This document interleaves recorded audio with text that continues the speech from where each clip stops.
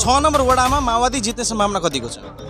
छ नम्बर वार्डमा माओवादीले जित्ने सम्भावना अहिले हन्ड्रेड पर्सेन्टै छ भन्छु म। किनभनेदेखि वास्तवमा यो वार्ड भनेको धेरै पिछाडिएको वार्ड हो र यहाँ धेरै नै अहिले हाम्रो विजय कामाजीले भनिसक्नु भएको छ।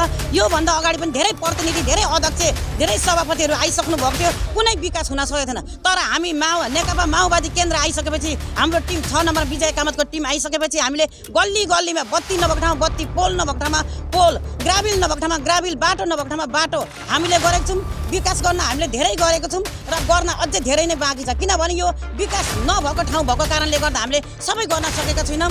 यसमा विजयजीले भनिसक्नु भएको छ सत्तरी पर्सेन्ट गरिसकेको छौँ तिस पर्सेन्ट बाँकी छ र विकासको चाहिँ दाँजोमा हेर्ने हुँदाखेरि र हामीलाई काम गरेको हिसाबले हेर्ने हो भने जनताले फेरि पनि हामीलाई रुचाउनुहुन्छ भोट दिनुहुन्छ भन्ने मैले आशा राखेको छु। र विशेष गरेर अब अहिले पनि हामीले महिलाहरूलाई चाहिँ के सोचेको छौँ भने हामीले कुनै पापडको तालिम हुन्छ कुनैमा मोमबत्तीको तालिम हुन्छ अगरबत्तीको तालिम हुन्छ हामीले त्यो ल्याएर चाहिँ महिलाहरूलाई चाहिँ एउटा पन्ध्रजना बिसजनाको ग्रुप बनाएर चाहिँ त्यो दिउँ भने कमसेकम उहाँहरूले पाँचजनाको टिम पाँच पाँचजनाको टिम बनाएर यसमा थोरै लगानी गरेर पनि उहाँहरूले आय आर्जनको बाटो ल्याउनुहुन्छ र उत्कृष्ट गहुँबाट तयार गरिएको आटा खेल दुगर समूहको उत्कृष्ट उत्पादन। यही सन्दर्भमा जस्तै मैले चाहिँ महिलाहरूको विशेष विषयमा उहाँले भनौँ न आवाज उठाइरहेको म चम्पा कार्कीसँग छु। चम्पा कार्कीसँग सोध्न खोजेको जस्तै छ नम्बर वडामा महिलाहरूको लागि तपाईँहरूले के योजना अगाडि बढाउने प्रयत्नमा हुनुहुन्छ कसरी अगाडि सार्नुहुन्छ महिला दिदीबहिनीहरूलाई कसरी शिक्षित पार्नुहुन्छ स्वरोजगारको विषयमा कसरी कार्यक्रमहरू अगाडि बढाउनुहुन्छ के छ प्लान धन्यवाद सर्वप्रथम त म तपाईँलाई धेरै धेरै धन्यवाद दिन चाहन्छु। हामीले छ नम्बर वार्डमा चाहिँ योभन्दा अगाडिको कुरा पनि म बताउँछु थोरै कुरा बताउँछु।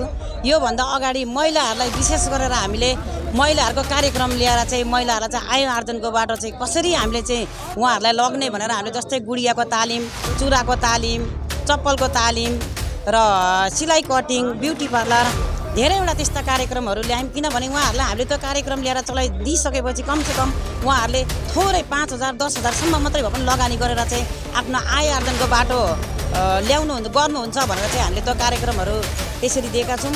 र विशेष गरेर अब अहिले पनि हामीले महिलाहरूलाई चाहिँ के सोचेको छौँ भने हामीले कुनै पापडको तालिम हुन्छ कुनैमा मोमबत्तीको तालिम हुन्छ अगरबत्तीको तालिम हुन्छ।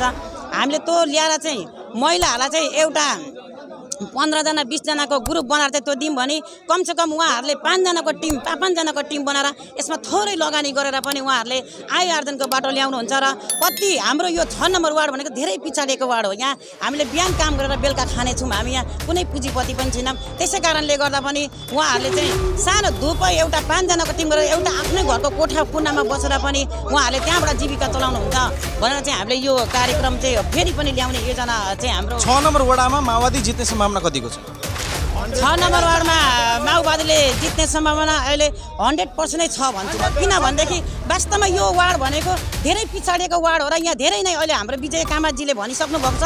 योभन्दा अगाडि पनि धेरै प्रतिनिधि धेरै अध्यक्ष धेरै सभापतिहरू आइसक्नु भएको थियो। कुनै विकास हुन सकेको थिएन। तर हामी माओ नेकपा माओवादी केन्द्र आइसकेपछि हाम्रो टिम छ नम्बर विजय कामतको टिम आइसकेपछि हामीले गल्ली गल्लीमा बत्ती नभएको ठाउँमा बत्ती पोल नभएको ठाउँमा पोल ग्राबिल नभएको ठाउँमा ग्राबिल बाटो नभएको ठाउँमा बाटो हामीले गरेको छौँ। विकास गर्न हामीले धेरै गरेको छौँ र गर्न अझै धेरै नै बाँकी छ। किनभने यो विकास नभएको ठाउँ भएको कारणले गर्दा हामीले सबै गर्न सकेका छैनौँ। यसमा विजयजीले भनिसक्नु भएको छ सत्तरी पर्सेन्ट गरिसकेको छौँ तिस पर्सेन्ट बाँकी छ र विकासको चाहिँ दाँजोमा हेर्ने हुँदाखेरि र हामीलाई काम गरेको हिसाबले हेर्ने हो भने जनताले फेरि पनि हामीलाई रुचाउनुहुन्छ भोट दिनुहुन्छ भन्ने मैले आशा राखेको छु।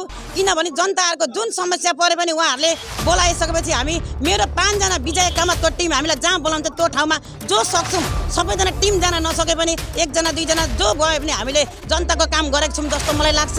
र फेरि पनि जनताहरूले चाहिँ हँसी हतारालाई भोट दिएर जिताउनुहुन्छ भन्ने मैले आशा राखेको छु। हस् समय र सम्वादको लागि धन्यवाद। हस् धन्यवाद। दर्शकबिन उहाँ हुनुहुन्थ्यो चम्पा कार्की छ नम्बर वडाका लागि।